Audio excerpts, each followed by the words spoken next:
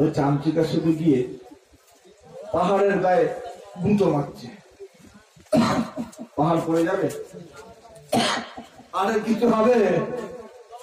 ওই চামচিকের কি হবে বলেন ও ঘাড় মুছে নিচে পড়বে কিনা? কোথায় লাগবে আসছো বাবা? বলে ফুলপুরাই কেন যাচ্ছে? ফুলপুরাই তার আল্লাহ বলি নাই। এই কিছুদিন আগে আমার আপনার সকলের মাথার ছাতা ছিলেন যারা মাথার ছাদ। আমাদের পীর মুসাফিদুল জামানের আওলাদরা আমাদের তিনটি চাচাজান হুজুর চলে গেছেন কথা ঠিক কিনা? নুরুদ্দিন চাচাজান হুজুর সাইফুদ্দিন চাচাজান হুজুর উসমান চাচাজান হুজুর তিনজন চাচাজান চলে গেলেন। এই তিনজনই আল্লাহর অলি হয়ে গেছেন একটু জোরে বলা যাবে না।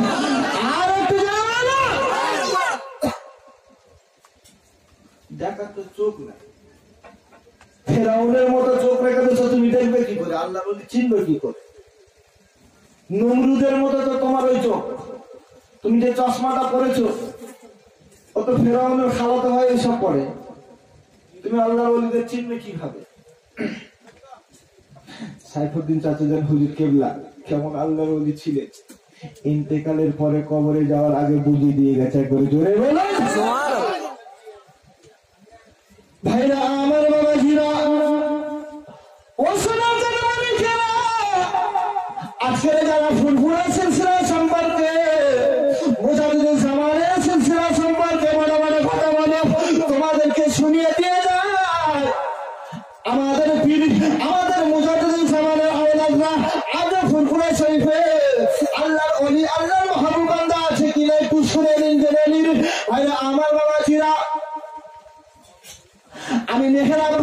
মুখ থেকে শুনেছি।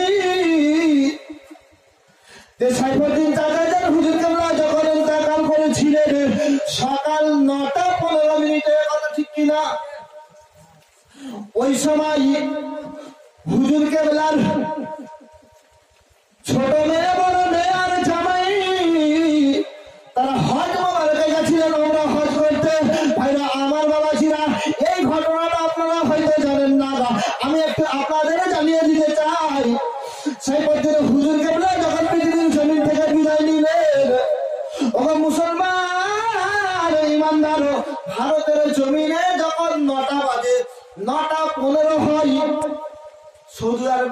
সময়টা কোন সময়? ভোরের সময়। কোন সময়? ভোরের সময়। নটা পনেরো বাজে। হুজুর কেবলা ইন্তেকাল হলেন। মেহরব ভাইজান বলছে, আমি বুবুজানদেরকে ফোন করেছি।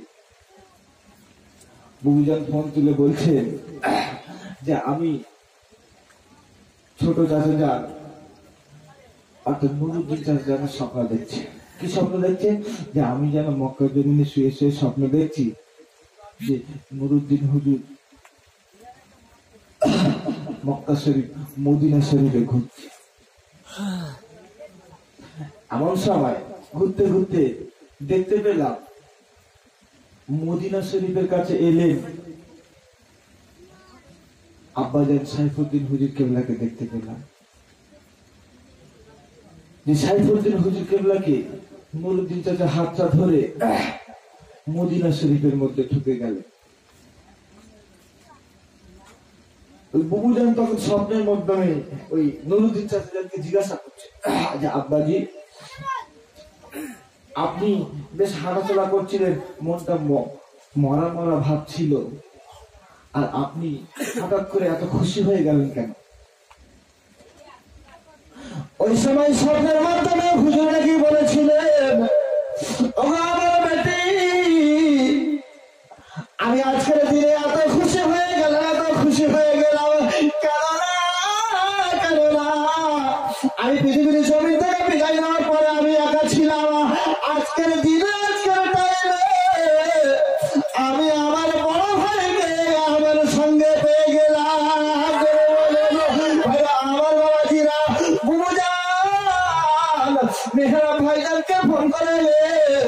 স্বপ্নের কথাটা জানালেন জানালেন।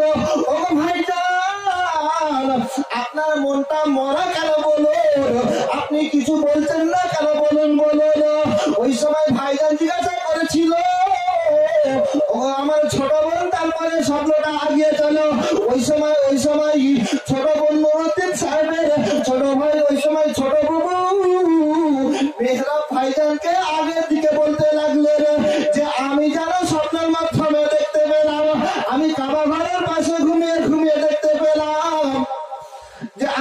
নুরুদ্দিন হুজুর।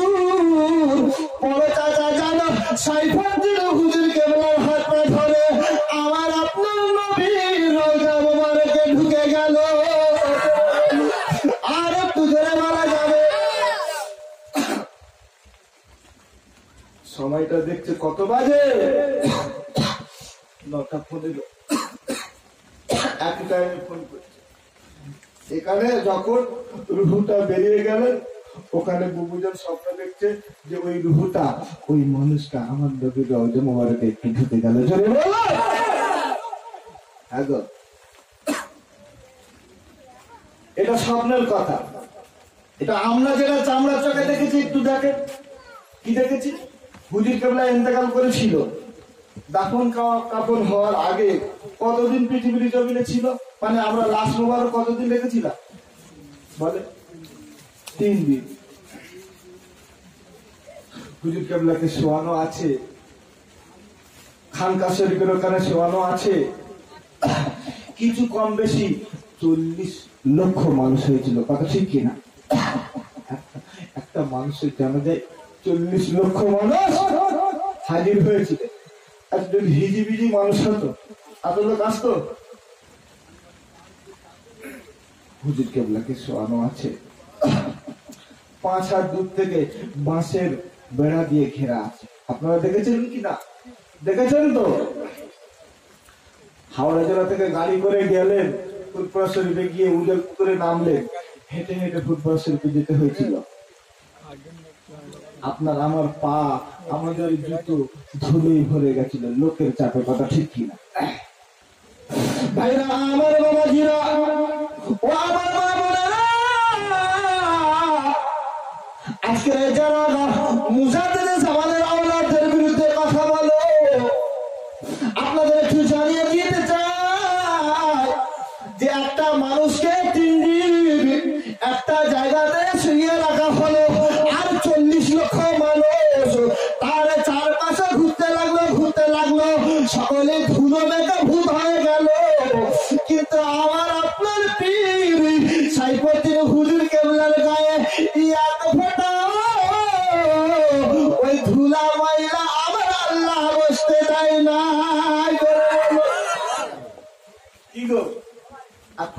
লেগেছিল। মানুষ এতেকালের পরে যদি বলা যায় মুরগির কলজে দিয়ে ভাত রান্না করে নিয়ে এসছি, খাবে? কোনদিন খাবে? এতেকাল হয়ে গেছে। শরীরটা পড়ে আছে, লাশ হয়ে। সেই শরীরটা ঠান্ডা হয়ে যায়। আর ওই মানুষের রক্ত চলাচল করে হ্যাঁ? এই মরা মানুষের গায়ে রক্ত চলাচল করে? মরা গরু খাওয়া কি? হারাম। না? কেন বলেন দি? ওর রক্তগুলো কি হয়? জমাট বেঁধে যায়। খাওয়া যাবে না। খেলে ক্ষতি হবে গুণা হবে কথা ঠিক কি না? তাহলে মানুষ ইন্তেকাল হয়ে গেলে রক্ত চলাচল কি হয়? বন্ধ হয়ে যায়। যার রক্ত চলাচল বন্ধ হয়ে যাবে যে তার গায়ে থেকে ঘাম বেরোবে হ্যাঁ?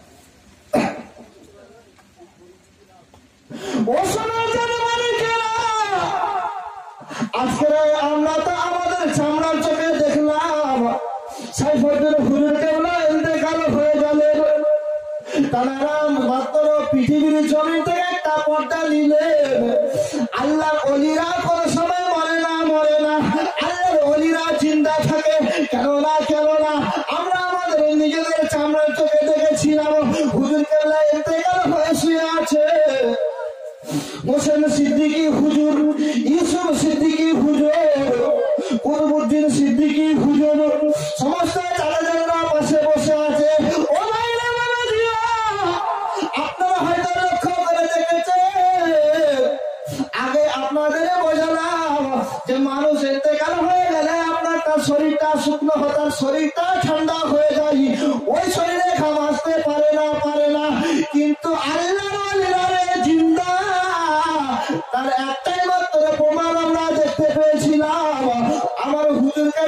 কাবলা শুয়েছিলেন লাশ পাওয়ার থেকে। অঝরে ঝরলে কপাল থেকে, চোখের পাশ থেকে। ঘামগুলো ঝরছিল কথা ঠিক কিনা। ইসু চাকজন হুজুর হাজি রোমান নিয়ে মুছে দিচ্ছে। কি গো? তুমি বড় বড় কথা বলছো, ফুরফুরে আল্লাহর আছে নাকি? তোমার দাদু যখন মরে যায় চোখগুলো আমরার মতো হয়ে থাকে কেন? হ্যাঁ? গালটা হা করে থাকে। হ্যাঁ? ঠিক কিনা আর ফুরফুরা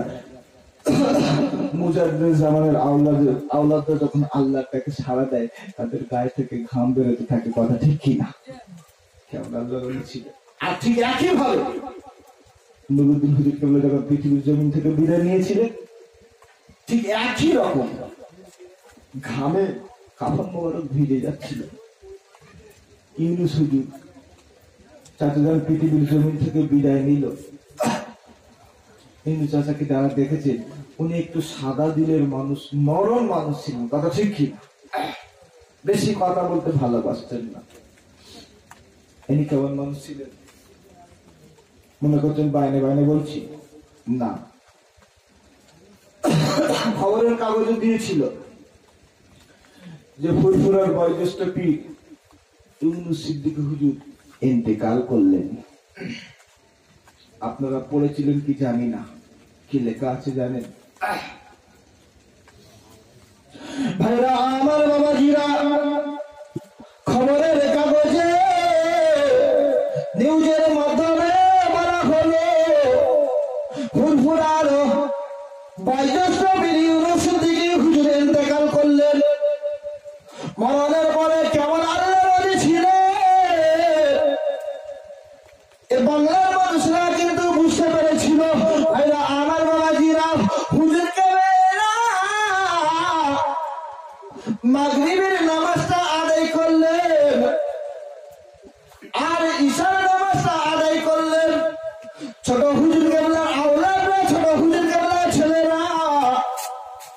নামাজের ওয়াক্ত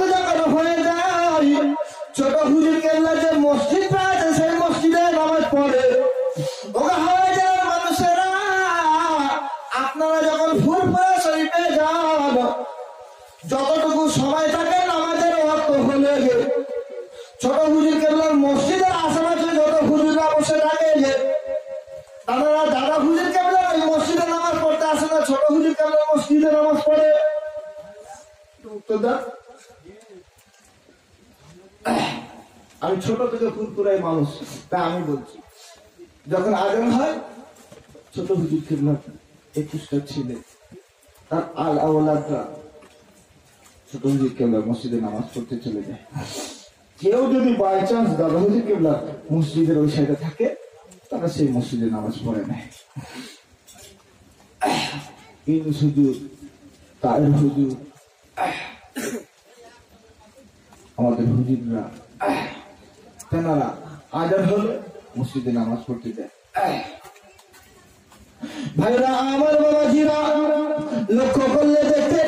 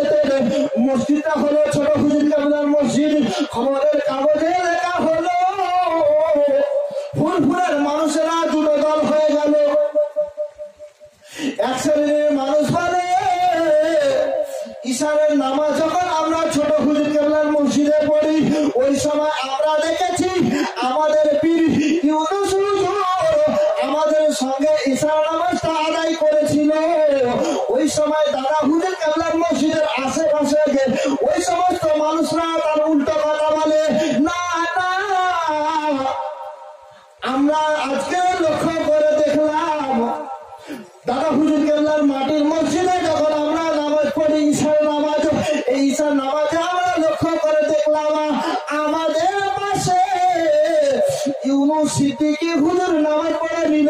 উসমান সিদ্দিকি হুজুর নামাজ পড়ে নিল? ভাইরা, আমার বাবাজির আগা একটা মানুষ একই সময়ে দু জায়গায় কি নামাজ পড়তে পারে? সবাই মিলে বলে এ কথাগুলো কারা বলছে?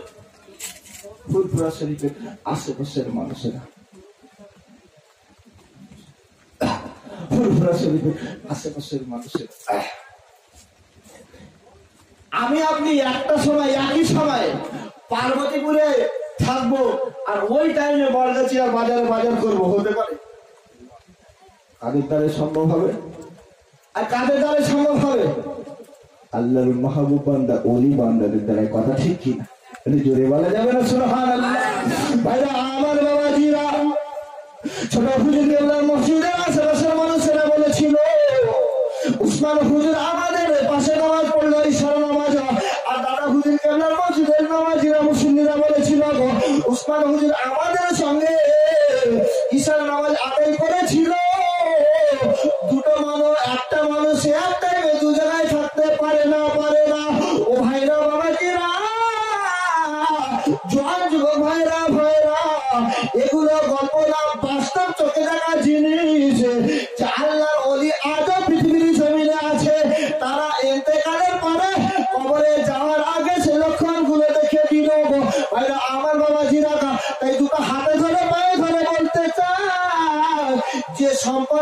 আপনার জ্ঞান নাই, যে সম্পর্কে আপনি বোঝেন নাই, আপনি সে সম্পর্ক নিয়ে বড় বড় কথা বলবেন না আপনার মনে যদি ডাউট হয়, ফুরফুরার আজও আল্লাহ বলিরা আছে। তাদের সঙ্গে গিয়ে আলাপ আলোচনা করবেন।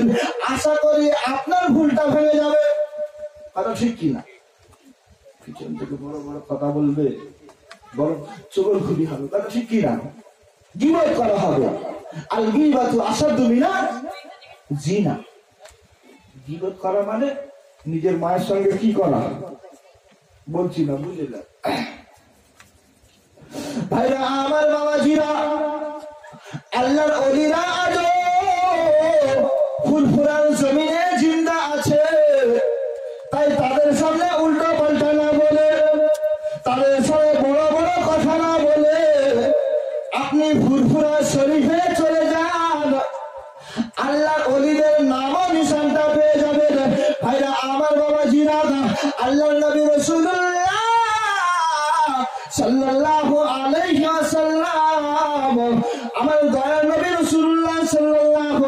ওয়াসাল্লাম আল্লাহর অলিদেরকে ভালোবাসতে বলেছেন। তাই আমি আপনি আল্লাহর অলিদের ভালোবাসি। ভাইরা আমার বাবা জিরা নামাজ যদি না পড়তে পারে নামাজি যদি না হয়ে যেতে